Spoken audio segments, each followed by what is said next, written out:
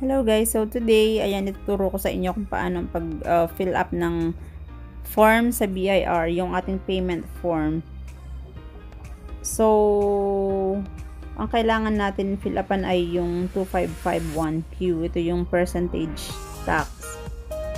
And kailangan natin magbayad ng July or April, ang month of April, May, and June. Babayaran natin ng July. So, anyway, yun, i, i, type mo lang yung tin number. Ito yung form na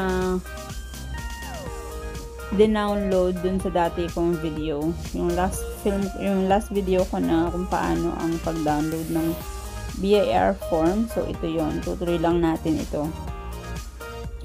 Yan, fill up lang yung mga basic and then hintayin lumitaw yung mismong BIR form. Basta i-select yung 2551Q dun sa options sa mga form. And then, wait lang ng konti para lumitaw yung form. Ayan. So, ito yung mismong form na fill upan natin. Pwede mong i-print ito ng uh, hindi pa siya naka, naka-fill out. Pwede mo siyang fill upan ng handwritten pero kailangan mong mag-compute. Ikaw mismo mag-compute nun. Pero ito, mas madali dahil naka-computerize na siya at saka naka-automatic na. So, first, i-click yung sa left, yung calendar. And then, quarter, kung anong quarter na tayo. So, second quarter na at this time. Tapos, naka-automatic na na naka-no yung number 4. And then, number 5, yun, naka 00 na yun. Naka-automatic naman na.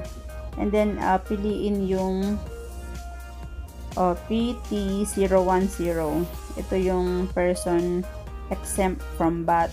Hindi tayo kasama dun sa sa VAT. So, non-VAT tayo. Kaya, dun tayo sa PT010.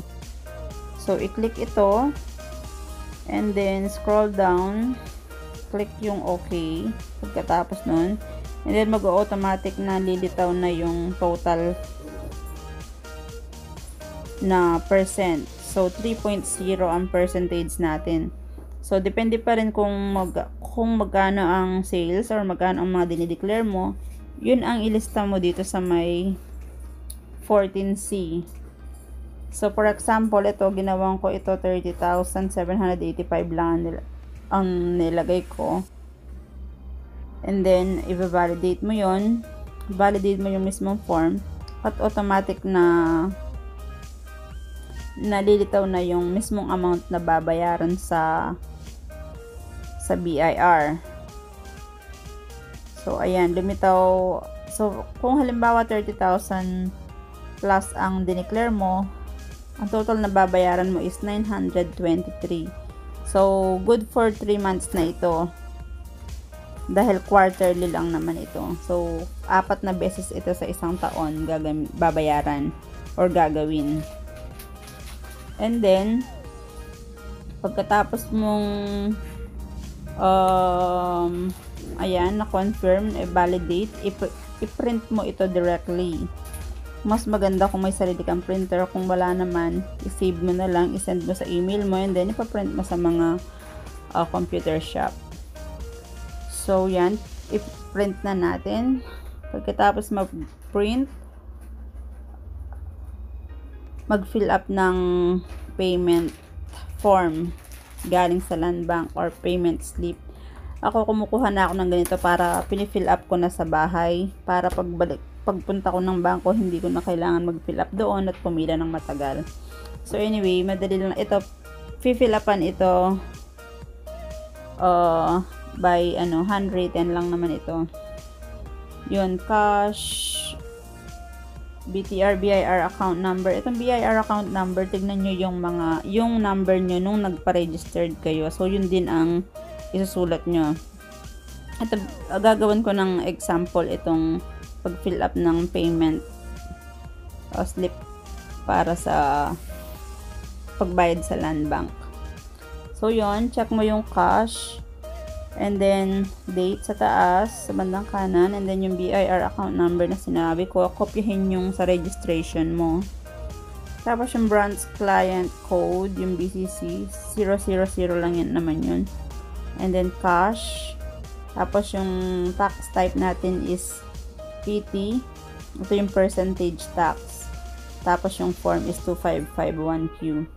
Tapos, ang ating RDO, ang aming RDO ay 17A. So, i-check nyo po sa inyong RDO kung ano ang inyong code. And then, account type, C. Tapos, quarter, kung anong, kung, pang ilang quarter na ba ang babayaran. So, uh, pang second quarter na natin ngayon. Tapos, yung tax period, year end, or month end, tsaka day, ayun. So, Itong babayaran natin pa, itong babayaran natin nitong July, ang end nito is June 30, 2019. So, yun yun, yung 630 19. So, every quarter, kung ano yung last month na babayaran mo, yun ang ilalagay mong date dito. And then, yung total. Ito yung total na to, ito yung nakuha natin kanina din sa validate natin bago natin i-print. So, 923 pesos and 55 centavos ang automatic na na lumabas. So, yon And then, name of taxpayer, ikaw. Tapos, signature. Tapos, contact number mo.